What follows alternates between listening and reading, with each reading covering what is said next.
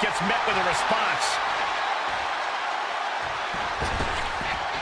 Oh, what impact. Oh, my God.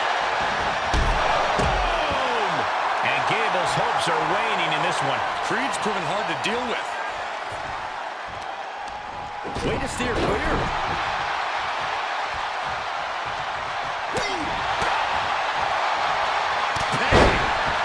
Has been roughed up pretty hard here. And this is, uh, well, it's not looking good. He's been placed in the corner now.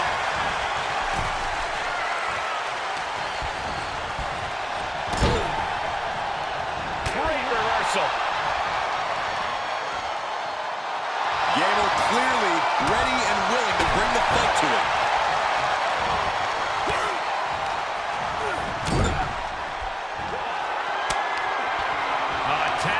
Double team coming. Heading up to the top rope. What do they have planned here? Doomsday Cannonball. Otis in big, big trouble. Does he have him here?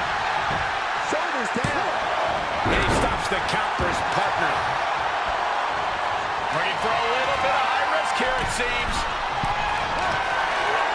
Julius Creed taking it down in the basement.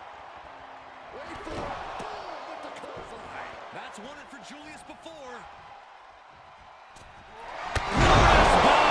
Did Brutus clinch this? And Gable had it scouted. And this is gonna be it! Shoulders down.